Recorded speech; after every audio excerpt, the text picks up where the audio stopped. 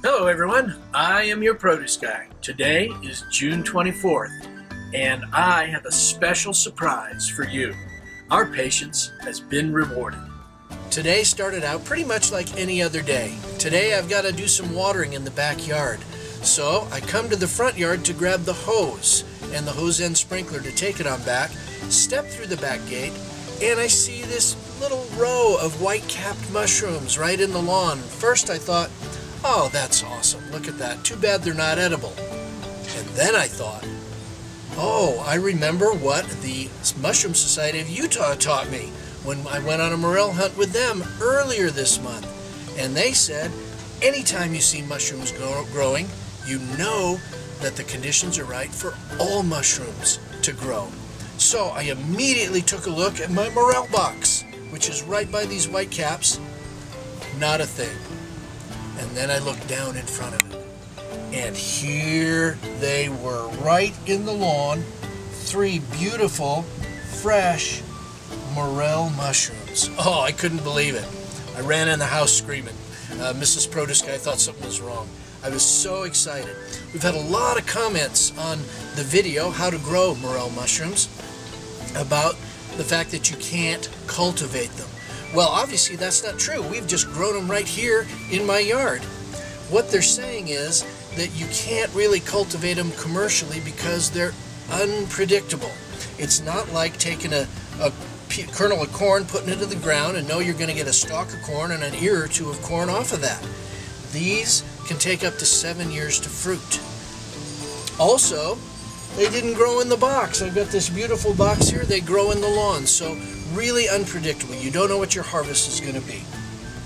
Now, these, of course, are not nearly as big as the morel that we found on our mushroom hunt a couple of weeks ago.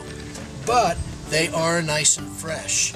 It is late in the season, and that's why I was so surprised to see them. But I think what happened was this section of the lawn was a little bit dry.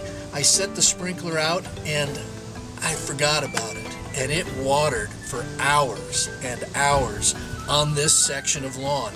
Well, that was about a week ago. And here they are. I think maybe my mistake was the thing that brought these mushrooms out. Again, it's June 24th, a little bit late in the season for morels, but less than 13 months from when I planted these and started this project. A little longer project than we normally embark on here, but the point of this is to show you that I can do it and so can you. If you want more information on how to create your own morel habitat, just click up in the corner and check out our vid video on building your own morel habitat. After you've seen our video on how to create a morel mushroom habitat, you can get your own morel spores from gmushrooms.com just like I did and they're what I used to grow these guys. And remember, all their kits are guaranteed to grow. Well, this has been an especially fun project growing my own morel mushrooms. I'm excited to be able to come out into the yard and periodically find these morels where I can pick them fresh, take them in and have a special dinner. The only trouble is it looks like I'm going to have to hunt for them even in my own yard because they didn't grow in the box like I had planned. How about that?